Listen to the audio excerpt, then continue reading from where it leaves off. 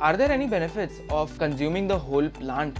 Uh, by whole plant, I mean CBD oil, which contains the extract of the whole plant. Surprisingly, in a study named Appraising the Entourage Effect, where they studied the anti tumor action of pure cannabinoids versus the botanical preparation of the same. So this study was conducted by Biochem Pharmacol. During this study, the researchers found that the presence of five most common terpenes in the mixture did not affect its efficiency. They also discovered that although THC exclusively activated receptors, the botanical preparation of the same was active at numerous locations, which is, which is likely why it is more efficient against fighting cancer cells. In addition, uh, a research comparing pure CBD to CBD rich extracts in the treatment of severe epilepsy found that the CBD rich extracts are as efficient but at a dosage that was approximately 25% lower.